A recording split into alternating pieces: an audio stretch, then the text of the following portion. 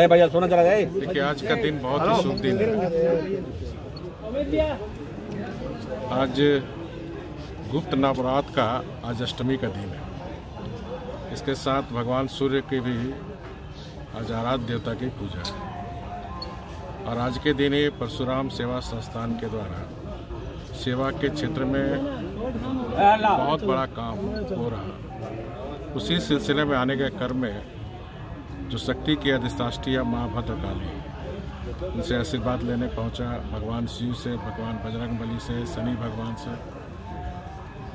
हम सबको, सभी झारखंड वासियों को इतनी शक्ति दे माँ कि झारखंड जो एक अपार संभावनाओं से भरा प्रदेश है। झारखंड के हर परिवार तक सुख और समृद्धि, शांति, आपसी भाईचारा रहे, यही मैंने कामना की है। इन दिनों रघुवर दास का धार्मिक आस्था बढ़ गया है। भारत एक धर्मपरायण देश है।